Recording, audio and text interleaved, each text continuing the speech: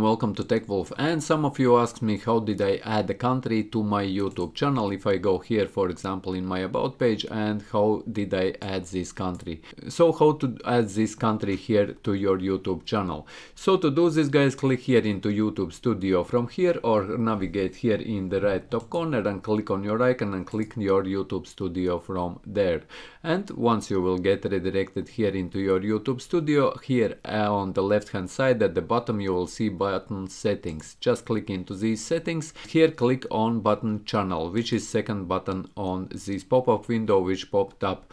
And here click on advanced settings. As you can see there are basic information and there is advanced settings second button. And scroll a little bit down until you will see there other channel settings and click on first link advanced channel settings guys. And you will get redirected to page like this and here you will see first option country and in this drop down menu you can select and add your country to your YouTube channel. This is how you can add a country to your YouTube channel and if you found this video useful leave a like, share this video, subscribe to my channel if you are new and see you in the next one.